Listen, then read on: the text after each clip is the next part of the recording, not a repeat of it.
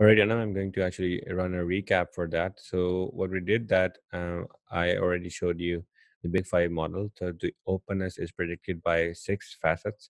So what they did that we created a new variable called openness, and then we ran the linear model on that. So you write lm, and then within the parentheses you write all the uh, variable names that you want to use.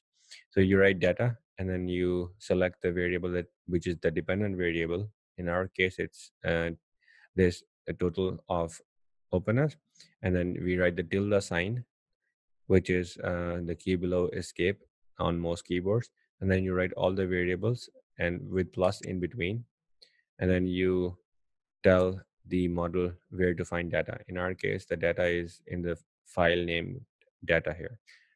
And when you run this analysis, it's going to create a new variable variable openness. I have already created that, so it's not showing it to me again. Um, but if you want to see the summary of that, it's going to generate this output in the console window.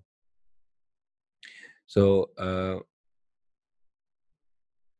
yes, uh, all these um, variables um, here are the independent variables and the one that we want to predict or the dependent variable is the total score of openness. So we write it first and after tilde we write all the independent variables.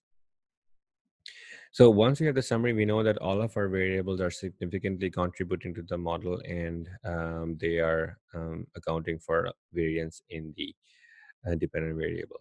And then we also have um, the uh, scale at which we can know how how significant that is. So all of them are significant at 0.001 level, which is very good. Uh, so the residual error uh, is 3.22, and the residuals are basically the differences of variances uh, from the uh, fit line. Uh, the R squared value is 0.87, um, which is very good, and that means that you know our model is uh, replicable and it's reliable. Uh, in F statistics, um, you have to know that um, it has uh, a p-value of uh, less than 0.05, which is all we need to know.